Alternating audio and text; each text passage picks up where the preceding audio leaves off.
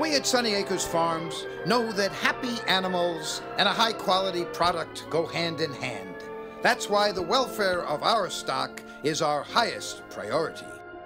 We strictly abide by acceptable farming practices, and we make sure our animals are allotted the full amount of space required by state law three feet by 2.5 feet. Still, the close quarters can mean an individual will occasionally catch a mild bout of infectious disease from one of his flock mates. To prevent this, we always add a small amount of antibiotics to our feed in accordance with the USDA's Food Safety and Inspection Service.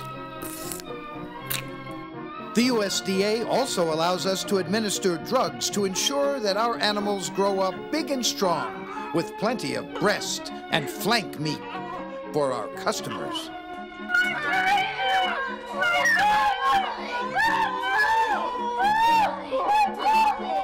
We're proud to report that on our farm, stress and disease related death rates fall well below the national average of 14%, and currently stand at only 12.7%. And when it's time to harvest our stock, naturally stunning and bleeding are performed in full compliance with the United States Humane Methods of Slaughter Act.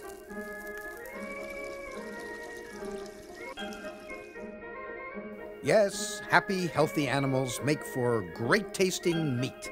That's the Sunny Acres guarantee. There's simply no better way and no better burger.